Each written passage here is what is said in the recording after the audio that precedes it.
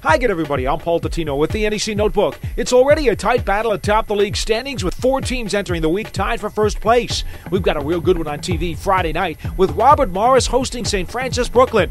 Catch it on ESPNU at 9 o'clock. And you can always follow the rest of the conference slate live in HD at NECFrontRow.com. Best of all, access to NEC Front Row is free.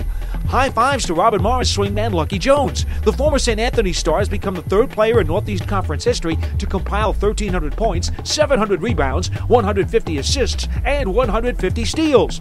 Bryant's Dan Garvin is the NEC Player of the Week. He posted 16 points and a league high 18 rebounds to thwart FDU. And LIU's Nura Zanna is the Rookie of the Week. He combined for 30 points and 12 boards over two games.